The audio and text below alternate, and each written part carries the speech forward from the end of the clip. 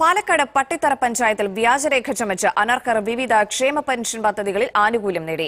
മുൻ ഭരണസമിതി അംഗങ്ങൾ ഉൾപ്പെടെയുള്ളവർ അപേക്ഷകരുടെ പട്ടികയിലുണ്ടെന്ന് പരിശോധനയിൽ തെളിഞ്ഞു. മൂന്ന് മാസത്തിനിടെ നൽകിയ അപേക്ഷകളിൽ ഇരുപത്തിനാലെണ്ണം വ്യാജരേഖ ചമച്ചുണ്ടാക്കിയതാണെന്ന് കണ്ടെത്തി. പഞ്ചായത്ത് സെക്രട്ടറി തൃത്താല പോലീസിൽ പരാതി നൽകി. വരുമാന പരിധി ഒരു ലക്ഷത്തിൽ താഴെയെന്ന് കാണിക്കാൻ മരിച്ചവരുടെ പേരും മേൽവിലാസവും തിരുത്തി.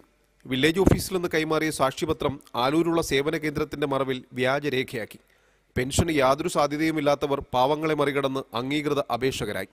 വ്യാജരേഖ സമർപ്പിച്ചവരിൽ മൂന്നാളുകൾ കഴിഞ്ഞ മാസങ്ങളിൽ ആനുകൂല്യം നേടിയിരുന്നതായി തെളിഞ്ഞിട്ടുണ്ട്.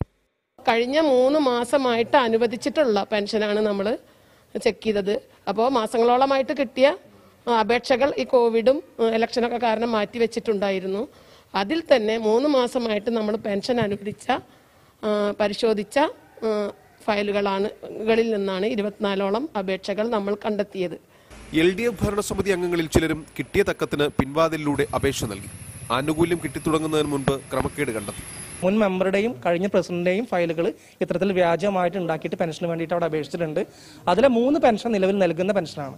ഇത്തരത്തിൽ ഈ വ്യാജരേഖ ചമച്ചതിൽ എല്ലാ പങ്കും കൊടുത്തിട്ടുള്ളത് കഴിഞ്ഞ ഭരണസമിതിയാണെന്ന് ഞങ്ങൾ സംശയിക്കുന്നുണ്ട്. അതിനുവേണ്ടിയുള്ള എല്ലാ അന്വേഷണങ്ങളും നടക്കുന്നുണ്ട്.